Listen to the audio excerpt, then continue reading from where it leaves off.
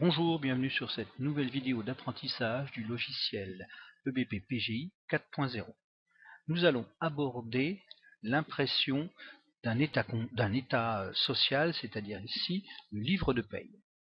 Pour cela, nous allons déjà vérifier que nos euh, bulletins ont été validés. Je clique dans Bulletin. Et là, je vois que les bulletins sont en cours de, de traitement, donc je vais les sélectionner tous, après faire un clic droit et cliquer sur valider. Je confirme.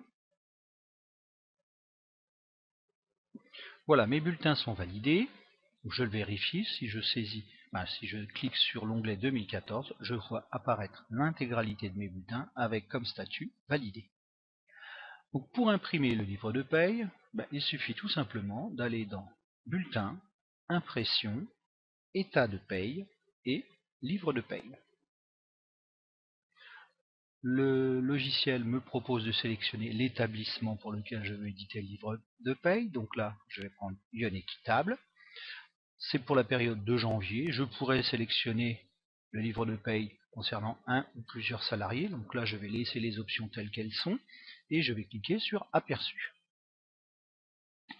Voilà, le logiciel me permet de visualiser l'intégralité du livre de paye avec les salariés. Alors, l'intérêt de, ce document hein, va nous permettre d'avoir une vue globale des différentes euh, parties d'un salaire, c'est-à-dire le brut, les cotisations,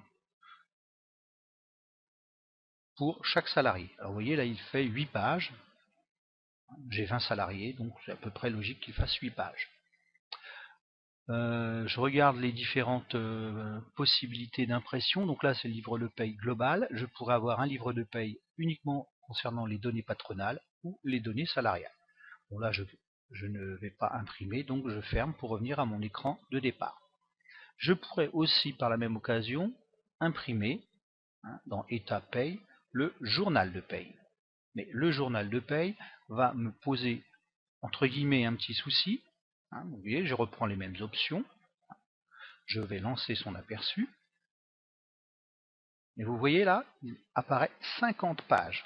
50 pages parce que le journal de paye hein, donc, est nominatif, c'est-à-dire salarié par salarié. Donc c'est vrai que pour l'entreprise, ça va faire un nombre de papiers important à imprimer chaque mois. Donc vous verrez que par l'intermédiaire du module comptable, une fois qu'on aura fait le transfert en comptabilité, on aura un journal de paye qui lui sera beaucoup plus euh, ramassé puisque les chiffres ont été centralisés. Voilà, j'en ai terminé avec cette leçon et vous donne rendez-vous pour une prochaine. Au revoir.